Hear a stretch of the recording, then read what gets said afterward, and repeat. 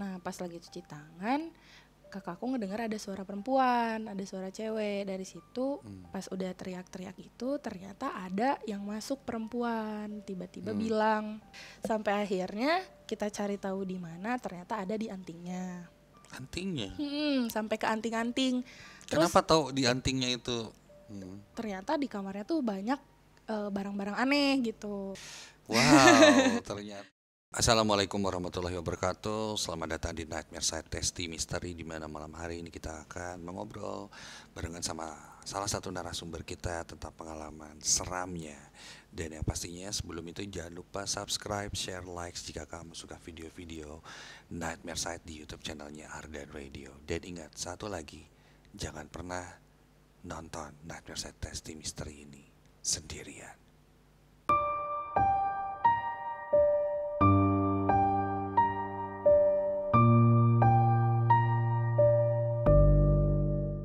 Dan malam hari ini narasumber yang kita undang adalah seorang mahasiswi di salah satu universitas di Bandung. Lala namanya. Hai, selamat Halo, malam Kak Lala. Dimas. Malam. Oke, selamat datang di studionya Nightmare Side. Nah, di Nightmare Side Testing Mystery ini Lala akan menceritakan pengalaman serem nih ya, Hmm. yang berhubungan sama hal-hal mistis Ya. atau hantu gitu. Nah, Betul. kayak gimana ceritanya Lala? Eh, ini tuh cerita sebenarnya udah lumayan lama. Terus kebetulan juga ini bukan cerita aku pribadi, Oke. tapi kakakku. Oh, kakak Nah, kamu yang ngalamin. Iya. Oke. Waktu itu kan kakakku masih kuliah karena sekarang udah kerja. Oke. Kakakku waktu itu masih kuliah tahun 2019 pokoknya eh, mau covid tapi belum covid kayaknya. Mhm. Nah itu. Terus eh, mereka kan waktu itu akhir ujian tuh biasanya orang-orang atau teman-temannya tuh suka pada balik kampung kan. Hmm. Nah kebetulan ada beberapa eh, circle-nya kakak aku ini yang nggak pulang kampung. Hmm. Mereka semua mutusin buat grill lah, barbecue gitu malam-malam. Oke. Nah udah kayak gitu. Di rumah siapa tuh waktu itu? Waktu itu eh, di rumah temen-temennya, karena Hmm. kebetulan mereka tuh teman-teman kakak aku tuh kalau ngekos atau ngontrak tuh barengan gitu. Jadi Oh, satu rumah gitu. satu rumah ya, berarti ya, oke. dari satu kontrakan itu ada Daerah mana? di daerah Cicahem. Oke, Cahem. Hmm. Oke, lanjut. Nah, eh, ada empat kamar di satu rumah itu tuh kayak Hmm. kontrakan gitu kan. Nah, di sekat gitu ke sekat yang depan kamarnya tuh sama ruang tamu, Hmm. belakangnya tuh sama dapur sama kamar mandi. Oke. Nah dari situ eh, teman-teman udah pada kontekan tuh samanya eh, sama teman-temannya kakak aku buat ya udah grill aja di kosan ini katanya gitu di Mhm. kosan temennya. Terus oke lah di situ kakak aku kebetulan cabutnya sama pacarnya juga waktu itu. Mhm. Nah pas eh, kakak aku datang eh, di situ tuh cuma baru ada satu temennya doang, baru ada satu orang. Hmm. Karena kakakku ngelihatnya cuma ada satu orang doang. Hmm. Nah udah dari situ kakak tuh emang kayaknya gatelan orangnya atau bersih banget gitu. Hmm. Jadi sampai kosan tuh emang langsung bersihin tangannya, cuci Hmm, tangan gitu ke kamar belakang ke dapur. Hmm. Nah pas lagi cuci tangan kakakku ngedengar ada suara perempuan, ada suara cewek. Dari situ Hmm.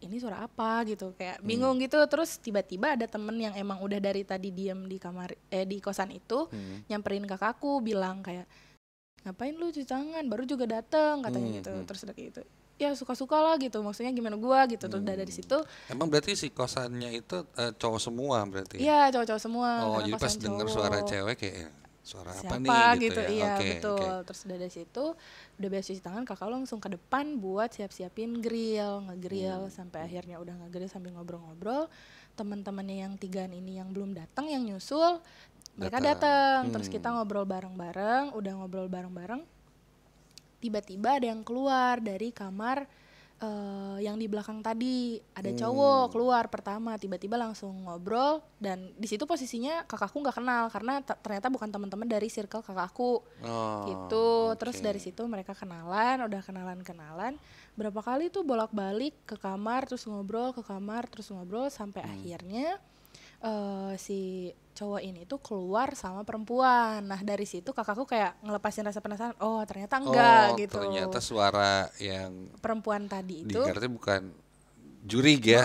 Bukan ternyata hantu. memang ada cewek emang di ada situ. cewek dari Oke. situ kayak oh lega nih gitu ternyata emang ada perempuan dari situ kakakku eh, kenalan sama ceweknya terus langsung ternyata mereka mau pamitan keluar tuh Hmm. karena dirasa udah malam juga Nah, udah pamitan pas mau pamitan ternyata perempuannya pingsan kak Nah Hmm. di situ kita semua teh bingung gitu. Hmm. Teman-teman kakakku tuh kenapa? Terus akhirnya digotong lah dibawa lagi ke kamar yang ada di belakang. Hmm. Pas dibawa lagi ke kamar yang di belakang, si perempuan ini tuh kesurupan, kayak teriak-teriak gitu awalnya. Oh. Pas udah teriak-teriak itu ternyata ada yang masuk perempuan, tiba-tiba Hmm. bilang kayak eh, aku tuh sebenarnya ada di sini dan aku tuh suka katanya sama cowok putih yang suka mandi. Aku juga suka ngeliatin dia mandi gitu. Hmm. Kebetulan yang kamarnya di belakang emang ada salah satu cowok, dia tuh putih. Terus eh, emang suka mandinya di kamar belakang itu gitu. Oke, Karena si- emang yang lebih dekat kamar mandinya kan dari belakang si di kamar mandi yang itu situ. bilang suka sama Hmm, sama si itu. cowok itu gitu. Terus dari situ makanya kenapa aku betah di sini katanya gitu. Hmm. Sampai masuk terus sama kita didoain eh, biar cepet-cepet keluar lah karena takut Hmm, juga hmm. kan ya. Eh, tadinya tuh kita mau manggil ustadz tapi karena udah malam juga sih jadi Hmm. kayak ya udahlah nggak usah manggil ustadz kita doain sebisa kita aja buat biar si Hmm. cewek ini keluar, Keluar, gitu oke. Mm-mm. sampai akhirnya perempuan ini udah tenang udah lumayan nggak kayak aneh-aneh lagi Eh, kita mutusin buat bawa dia pulang sama temennya ada Hmm. satu temen yang emang tadi yang lokasinya itu eh yang kamarnya itu dipakai buat ini nih jadi si kakakku punya teman terus Hmm. temennya punya teman yang pakai kamar itu nah Hmm. mereka bertiga nganterin tuh perempuannya ke rumahnya Hmm. Rumahnya nggak jauh dari situ atau? Eh, kurang tahu sih kalau itu Oke. tapi mereka nganterin bertiga deptil rempet tiga gitu Hmm, oke. naik motor terus eh, pas udah kayak gitu kita kira semuanya masalahnya udah selesai maksudnya udahlah kayak tinggal kita santai-santai aja mau lanjut ngegrill atau istirahat gitu Mhm. tapi ternyata mereka balik lagi kirain balik laginya berdua teman-teman cowoknya doang ternyata Hmm. mereka masih bawa cewek-ceweknya di situ tuh Hmm. masih eh masih bawa cewek-ceweknya masih bawa cewek Masih bawa si cewek ya itu. pas dibawa eh, di- ditanya kenapa dibalikin lagi Eh, nggak dibawa pulang terus bilang di jalan eh biar lu loncatan cina di motor teh jadi loncat-loncat gitu terus Hmm. kayak wah anjir kayaknya ini jadi lagi nih Kesurupan gitu lagi ya. Hmm. Mhm. terus dibawa lagi lah ke dalam masuk pas masuk Hmm.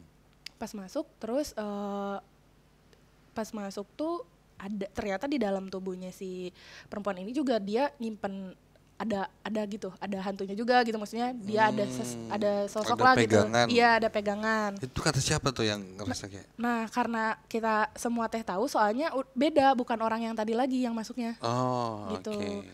nah pas ditanya ditanya-tanya kayak ini siapa kenapa masuk dan sebagainya Hmm. ternyata si cewek yang ada di tubuhnya si cewek itu tuh bilang aku mah nggak suka kalau dia pacaran sama si cowok ini gitu Hmm. bilangnya kayak gitu karena nggak suka dan lain sebagainya dia tuh ketawa-ketawa kayak eh, ngeledekin kita semua gitulah Hmm. kayak si ini nggak akan bisa keluar nih gitu sampai kapan pun gitu bilangnya tuh gitu Mhm. sampai akhirnya karena si eh, cewek ini tuh banyak megang apa yang aku punya katanya gitu nah Oke. dari situ semuanya teman-teman kakakku kepikiran kayak wah ini kayaknya ada jimat dan lain sebagainya gitu hal-hal yang aneh Hmm. gitu terus dicarilah di dompetnya di dompet si cewek itu. Ternyata benar emang ada banyak barang-barang aneh. Mhm. terus ada salah satu temennya ngebakar dibakar gitu. Ah udahlah bakar aja bodo amat dan sebagainya. Terus dibakar sama si temen Hmm. cowoknya itu. Pas dibakar emang udah tenang. Eh, terus rencana kita mau bawa pulang lagi. Ternyata jadi lagi. Si cewek perempuan Hmm. itu tuh masuk lagi terus bilang ah dah lain eta hungkul cina gitu. Kayak ngeledekin masih tetap ngeledekin. Iya, iya. Sampai akhirnya kita cari tahu di mana ternyata ada di antingnya Antingnya. hmm, sampai ke anting-anting terus Kenapa tahu di antingnya itu Kita teh- sebuah benda aneh? Atau antingnya gimana bentuknya atau apa? antingnya kayak bener anting yang ada di telinga aja gitu Hmm. karena eh, satu-satu dicopotin kayaknya dari cincin terus gelang kayaknya Hmm. terus pas eh, dari si antingnya ini dicopot ternyata dia bener udah bener-bener tenang gitu. Oh Hmm. ternyata di antingnya pas antingnya udah dilepas terus kita bawa pulang dan emang beneran udah tenang. Hmm, terus udah dari situ kayak udah semuanya istirahat dan itu tuh baru beres tuh jam 6 pagi apa jam 5 pagi gitu. Hmm. itu baru selesai. Pas dibawa pulang ke orang tuanya orang tuanya nggak kaget dengar cerita ini tuh. Malah Oh, bilang oke. makasih gitu karena udah dianterin pulang.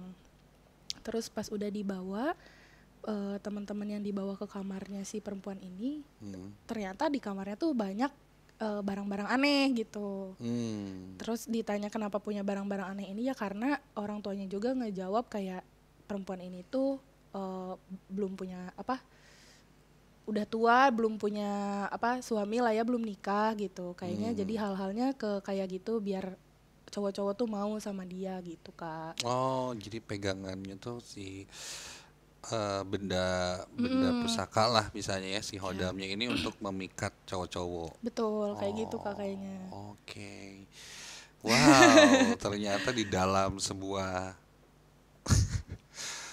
benda itu kan memang sering ada kodamnya ya, Mm-mm. isinya apa dan mungkin saking banyaknya dan ada terjadi bentrokan sama sosok yang ada di kosan itu kali ya, oh akhirnya jadi iya kesurupan Hmm, eh, dan ya udah itu. Jadilah terjadilah hal seperti itu Iya. waduh sampai sekarang eh, masih kenal sama orang itu atau enggak? Karena kebetulan si perempuan ini tuh bukan teman-temannya Iya, kakak bukan aku. circle-nya ya. jadi dari teman ke teman kita Hmm. benar-benar udah nggak tahu dari situ kayak ya udah selewat aja gitu. Karena lumayan Serem serem, juga juga, ya? ya sampai Oke. udah ngebakar dan sebagainya gitu kan. Nah dari situ kayak ya udah gitu. Oke berarti si cewek ini punya pegangan lumayan Hmm. banyak gitu ya untuk memikat eh, hati cowok-cowok wah Benar.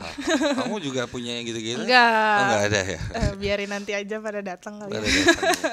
Ya udah terima kasih banyak ya Iya, makasih banyak Kak Lala udah Dimas. share pengalaman seramnya. Nah kalau kamu juga nih insan muda ya punya sebuah eh, pengalaman yang cukup mirip dengan kisahnya Lala ini, misalnya dekat sama satu cewek yang ternyata si cewek ini punya pegangan dan akhirnya kamu tergila-gila atau kayak gimana gitu, boleh kamu komen di bawah share like jika kamu suka video ini dan kita ketemu lagi di Nightmare Testing Misteri selanjutnya kira-kira siapa yang bakal kita undang dan ajak ngobrol seputaran hal seram lainnya. Terima kasih Lala. Makasih banyak Kak Dimas. Sampai Makasih. ketemu lagi di Night West Testing Mystery selanjutnya. Assalamualaikum warahmatullahi wabarakatuh dan selalu ingat jangan pernah nonton Night West Testing Mystery ini sendirian.